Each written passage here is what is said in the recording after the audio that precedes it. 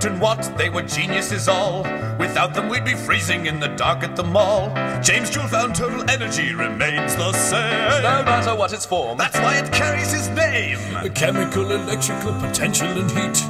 Radiant, kinetic. Ooh, the list is incomplete. They're always changing back and forth. It's really quite a blur. Oh, how could he? I'd forgotten nuclear.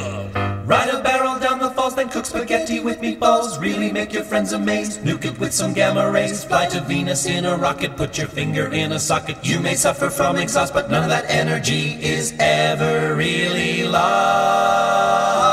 Then why can't we make a clean machine that moves perpetually? Cause there's another law with which all energy must agree. Whenever it changes form, it loses quality. Other words, Damn that rising entropy!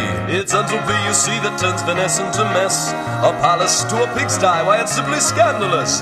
Energy once neat degenerates into waste heat. We must repeat. Because of entropy.